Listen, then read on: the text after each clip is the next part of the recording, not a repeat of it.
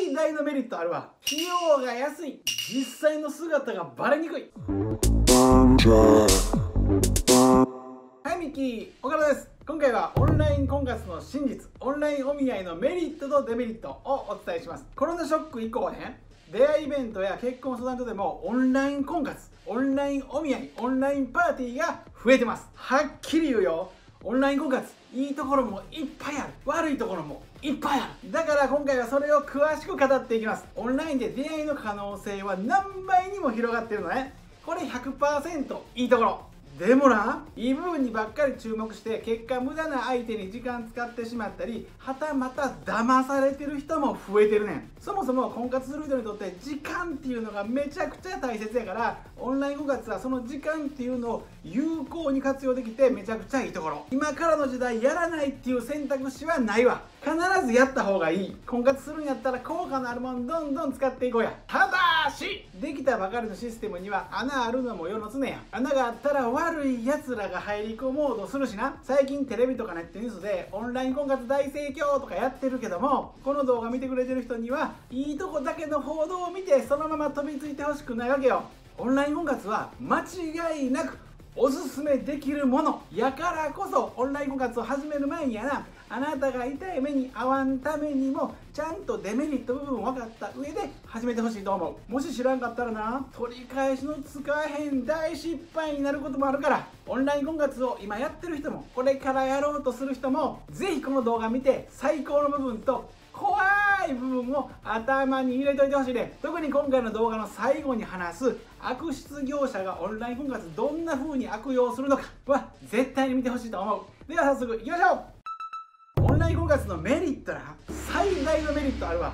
オンライン婚活には最高のメリットがあるねそれは森写真の被害が少なくなるってこと。オンライン婚活始めるとな出会い系アプリとか結婚相談所の悪しき風習である別人に見えようが面影なかろうがとりあえずいい写真載せて出会いにつなげろっていうかあんまり通用しなくなるわ。動画やから編集できひんねん。従来のお見合いとかやったらな。お見合いするまでにわざわざホテルに行っていざ会ってみると全然写真と違うやないかってなること多いねん。これなかなり怒りマックスなるからな。実際やられたらほんまに頭から湯気出るもんね。男性からすればお見合いの時に払うカフェ代が無駄になるわ。女性からしても時間かけてメイクしておしゃれしてわざわざ出向いたのに騙された気分になるしそら切れそうにもなるよ。オンラインお見合いやったら自宅で手軽にできる分もし森写真に騙されて申し込んだとしてもモリモリショックがいくらかマシになるわ。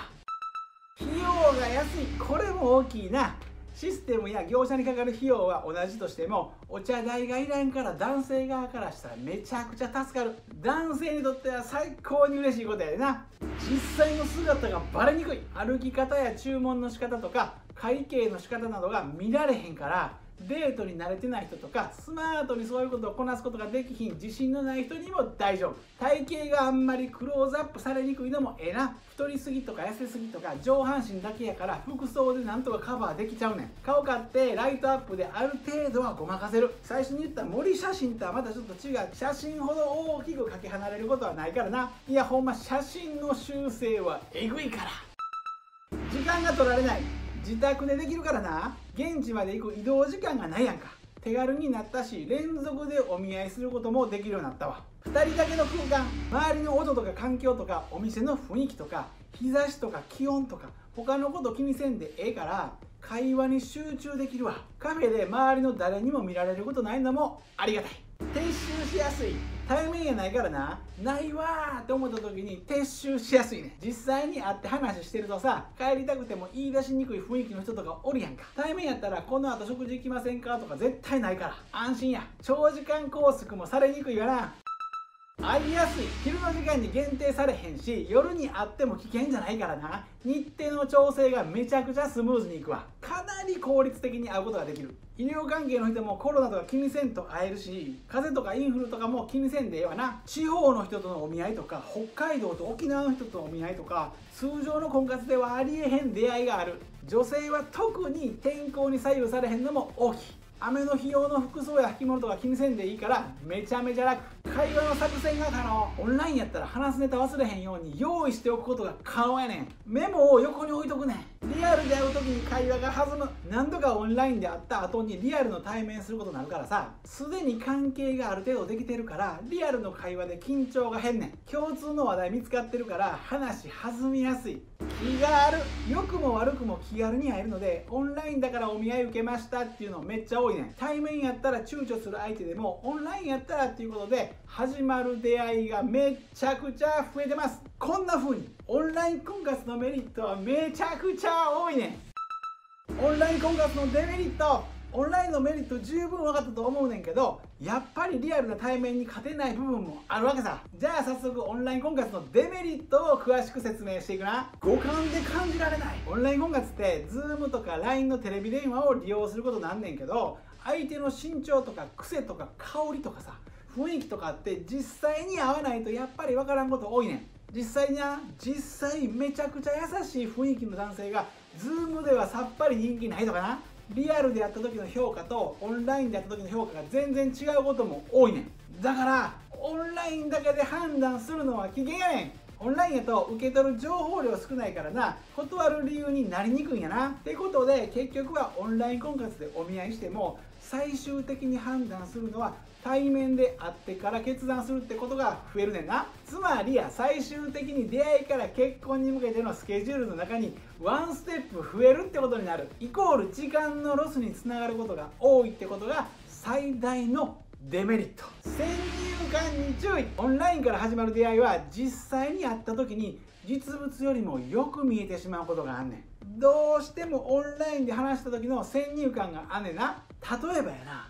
超絶モテない君の婚活を僕がサポートするとするやん。じゃあまずオンライン婚活から始めてもらうわ。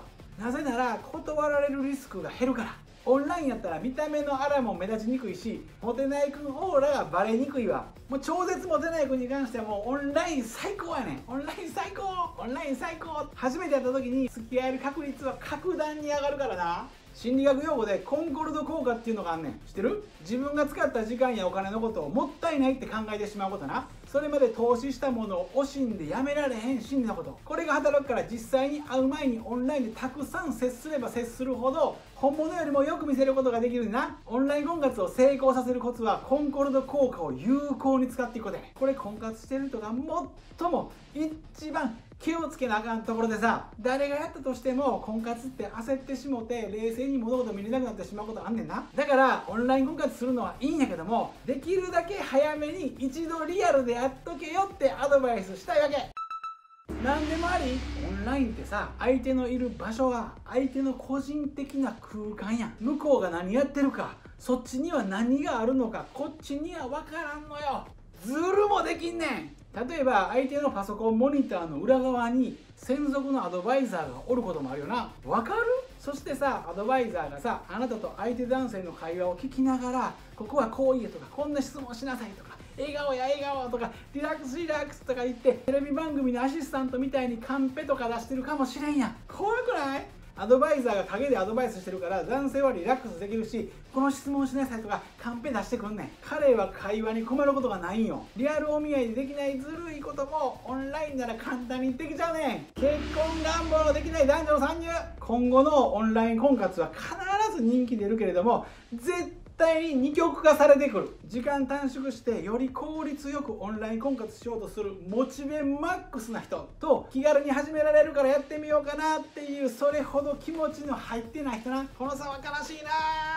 いつも僕が伝えてるのは婚活で一番大事なものは結婚願望が本当にある人同士で出会うことやねん。結婚願望のない人と会っちゃいけないのよ。遊び目的の男に接触しちゃいけないのよ。だから男性はカフェの費用を払って会う。女性はおしゃれして時間をかけて可愛くメイクして会う。これぐらいのハードルがある方がちょうどいいってこともあるねん。オンラインとリアルで会う婚活。両方の良いとこ取りをするのが一番いいよな。悪徳業者の思惑。そしてなこれは本当に頭の片隅に置いていてほしいねんけどオンラインパーティーでもさオンラインお見合いでもさ悪いやつらはこのオンライン婚活の機会をめちゃくちゃ喜んでんねんな。何かっていうとねわかる？わかるかな？オンライン桜のことやね出会い系アプリでもさパーティーでもさ出会いには必ず桜の存在が疑われるやん。今までも悪質な業者はやってるし健全な業者は一切やってない。これがなオンライン婚活やと悪徳業者が雇う桜がめちゃくちゃ増える。なぜならオンライン婚活の場合はな桜に支払う人件費がすごい安く抑えられんねん。桜やる本人も仕事めちゃくちゃやりやすくなんねんな。だって自宅にいながらできんねんもん。桜からしたら1日何回でもできるよ。リアルな桜やったら1対1で会うことも1日12回やわ。でもそれがオンライン桜やったら何回もできてしまう。悪徳業者はもうすでにバシバシ動いてるからな。気をつけておいてな。